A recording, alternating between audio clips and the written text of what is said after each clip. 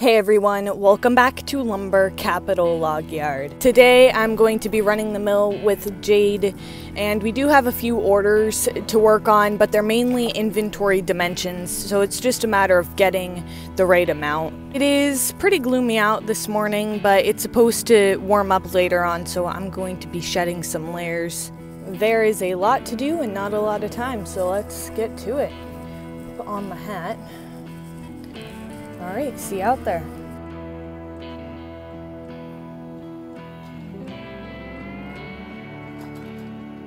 We have autumn olive everywhere around the log yard, and it is just such an overwhelming smell. Not a bad one, it smells very sweet. We got in a load of logs, well, another load of logs, and we have nowhere to put it, so it's kind of right here in the middle of the log yard right now.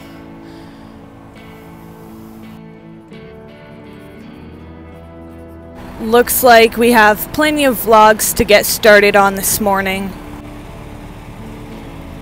We need a whole lot of 1x6x12s, but I think that we're going to get 1x6s off of the edger pieces. So we're probably not going to focus on those today, but definitely 2x4s and 4x4s. And then we also have this wavy edge order that we can probably get started on.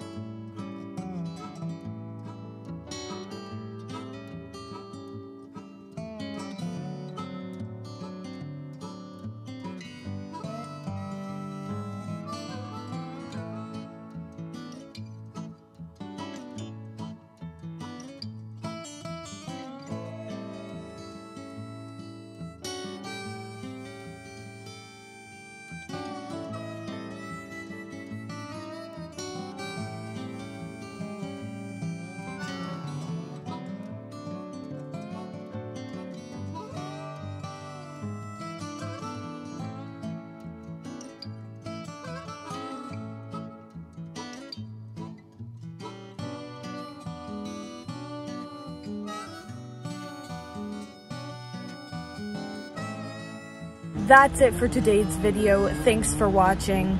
If you are interested in becoming a member of our channel, I left a link down in the description. If not, I'll see you next time.